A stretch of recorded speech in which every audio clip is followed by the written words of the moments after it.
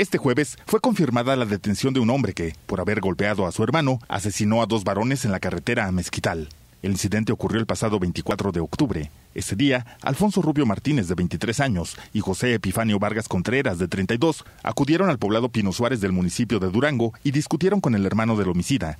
Este último fue identificado como Fernando González Ríos, de 41 años de edad.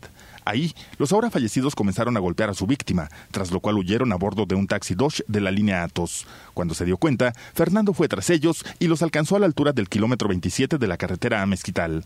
Bajó de su camioneta, una Jeep Cherokee, y con una escopeta les disparó a ambos, dejándolos sin vida en ese sitio. Tras un par de semanas de investigación, los agentes de la Fiscalía General del Estado lo encontraron en su propio poblado de residencia, donde finalmente lo detuvieron.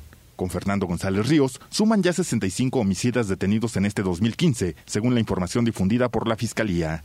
Con imágenes de Edgar Tapia, informó para Tiempo y Espacio Luis Lozano.